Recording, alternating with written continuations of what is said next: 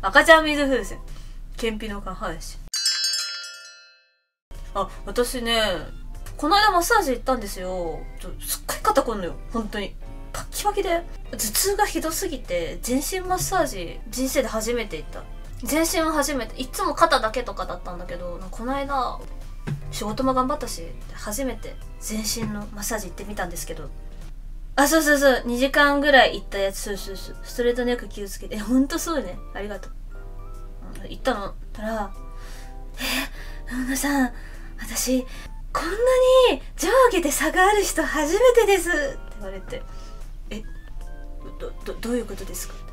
あの、筋肉っていうのは、例えば緊張しすぎとか、動かさないとか、まあ、とにかく動きがないと凝っちゃったり、まあいろいろ溜まる老廃物が溜まったりする。とにかく緩急が大切なんですよ。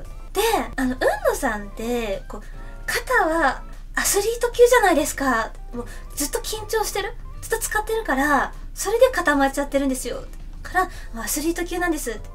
でも下半身触ってみたらもう赤ちゃんみたいでえどどういうことです？かえほんと全然使ってないですね。なんか筋肉という筋肉がなくて。だから上半身アスリートで下が赤ちゃんなんです。え上半身アスリートで下半身赤ちゃんって 繰り返しちゃった。どういうどういうこと？らしいですよ。私上半身はアスリートなんだって。ここで緊張してるからもうバリバリバリらしい。うん、バリコールらしいんですけど、下は 全然運動しねえから、セルライトとか 老廃物、水風船持ってるみたいって言われた。下半身のむくみがすごい。うん。赤ちゃんだって。赤ちゃんみたいだから水風船になっちゃうって言われた。例えがすごい人だった。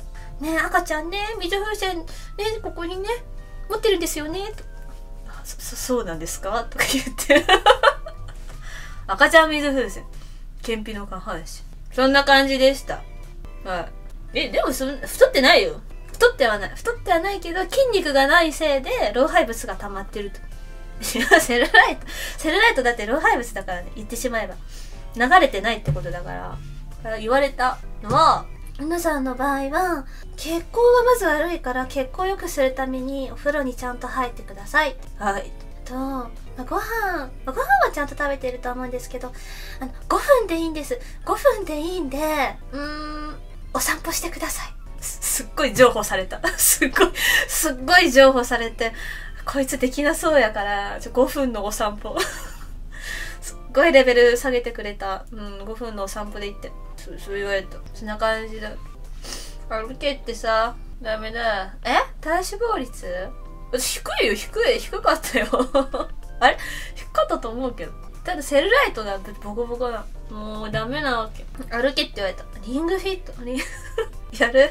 冬の追い込み。夏よりはやりやすいよね。夏はさ汗かきたくねえけど確かに。ちょっとやるかまた。ありがとうございました。ありがとうございました。ありがとうございました。ありがとう。